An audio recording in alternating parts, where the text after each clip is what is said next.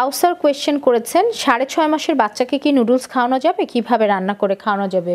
অবশ্যই যাবে। সাড়ে ছয় মাস যেহেতু শিশুর বয়স হয়ে গিয়েছে, আপনি তাকে নুডলস তাকে খাওয়াতে পারবেন। কিন্তু নুডলস রান্নার ক্ষেত্রে আপনাকে দুই থেকে তিনটা জিনিস খেয়াল করতে হবে। এক্ষেত্রে প্রথমেই যেটা বলি যে, ছয় মাস বয়সের পর থেকে আপনি যখন তাকে খাওয়াচ্ছেন, প্রথম তাকে ভাত রুটি, মাছ বা খিচুড়ি জাতীয় খাবারে তাকে অভ্যস্ত করেন। এটা হচ্ছে আমাদের রেগুলার খাবার। নুডলস আর ভাত কিন্তু একই জিনিস। নুডলস হচ্ছে একটা কার্বোহাইড্রেট জাতীয় খাবার। আপনি যদি এই সময় তাকে নুডলস দিতে চান, কোনো অসুবিধা নেই। কিন্তু নুডলসটা সিদ্ধ করে পানিটা এমনভাবে দিতে হবে যে পানিটা শুকিয়ে যাবে ওখানেই।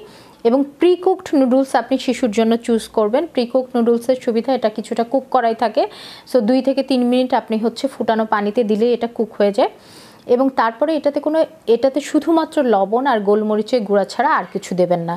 কারণ আপনি যে টেস্টিং সল্ট বা এর মধ্যে যে স্পাইসটা থাকে, এটা যদি অ্যাড করেন, সেক্ষেত্রে শিশুর অনেক সময় আপনার যে টেস্ট বার্ড সেটার কিন্তু অসুবিধা হতে পারে। সেক্ষেত্রে আমি রিকোয়েস্ট করব শিশুকে নুডলসটা ফুটন্ত পানিতে ছেড়ে দিয়ে দুই তিন মিনিট সিদ্ধ করে তুলে এটার সাথে লবণ এবং শুধুমাত্র হচ্ছে গোলমরিচের গুঁড়া দিয়ে আপনি শিশুকে খেতে দেন। শিশু যদি মজা করে খায়, কোনো অসুবিধা নাই। ভাত খাওয়াও যা, নুডলস খাওয়াও তাই।